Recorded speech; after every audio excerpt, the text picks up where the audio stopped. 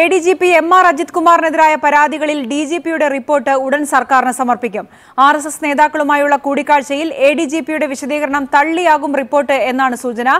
അതേസമയം A D G പിക്കെതിരായ P V അൻവറിന്റെ പരാതികളിൽ കഴമ്പില്ല എന്നതാകും കണ്ടെത്തലെന്ന വിവരവുമുണ്ട്. കൂടുതൽ വിവരങ്ങളുമായി കെ ജി കമലേഷാണ് തിരുവനന്തപുരത്ത് നിന്ന് ചേരുന്നത്. കമലേഷ് ഡി ജി പിയുടെ റിപ്പോർട്ട് എപ്പോഴേക്ക് നൽകുമെന്നാണ് മനസ്സിലാക്കാൻ കഴിയുന്നത്? ഇന്ന് തന്നെ നടപടിയും ഉണ്ടാകുമോ? പ്രജല രാഷ്ട്രീയ കേരളം ആകാംക്ഷയോടെ കാത്തിരിക്കുന്ന ഒരു റിപ്പോർട്ടാണ് D G P Sheikh Darvesh Sahib തയ്യാറാക്കി കഴിഞ്ഞിരിക്കുന്നത്.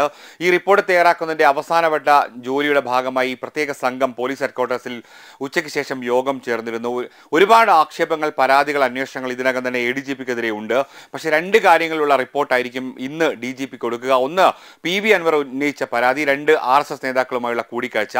ഇതിൽ ആർ എസ് എസ് നേതാക്കളുമായുള്ള കൂടിക്കാഴ്ചയായിരിക്കും അജിത് കുമാറിന്റെ സ്ഥാനമാറ്റത്തിന് കാരണമാവുക എന്നുള്ള സൂചനകൾ വരുന്നു. അതായത് സ്വകാര്യ സന്ദർശനമാണ് രണ്ട് മുതിർന്ന ആർ എസ് എസ് നേതാക്കളെ കണ്ടത്. അതായിരുന്നു എന്നുള്ള അജിത് കുമാറിന്റെ വാദങ്ങൾ തള്ളിക്കൊണ്ടുള്ള സംശയങ്ങൾ സൂചിപ്പിച്ചുള്ള റിപ്പോർട്ടായിരിക്കും ഡി ജി പി നൽകുക. അതിന്റെ പേരിൽ ഒരു സ്ഥാനമാറ്റമാണ് പ്രതീക്ഷിക്കുന്നത്. അതേസമയം മാമി തിരോധന കേസ് അടക്കം അൻവർ ഉന്നയിച്ച കേസുകളിൽ ഇടപെട്ടു എന്നുള്ള ആ ഒരു പരാതിയിൽ കഴമ്പില്ല എന്ന നിലയ്ക്കായിരിക്കും റിപ്പോർട്ട് എന്നാണ് വിവരം. പക്ഷേ ഈ റിപ്പോർട്ടിന്റെ അടിസ്ഥാനത്തിൽ നടപടി ഇന്ന് തന്നെയോ അതോ നാളെയിലേക്ക് നീങ്ങുമോ എന്നുള്ള കാര്യത്തിൽ ഇപ്പോഴും ഒരു ആശയക്കുഴപ്പമുണ്ട്. സി പി അടക്കം കാത്തിരിക്കുകയാണ്.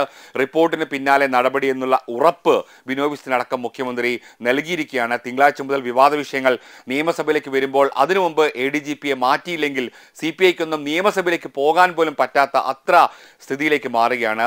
ഇങ്ങനെ നടപടി വരുമെന്ന് പറയുമ്പോഴും അത് സസ്പെൻഷനൊന്നും ആയിരിക്കില്ല. സ്ഥാനത്തുള്ള മാറ്റമായിരിക്കും എന്നുള്ളതും വളരെ പ്രധാനപ്പെട്ട കാര്യമാണ്.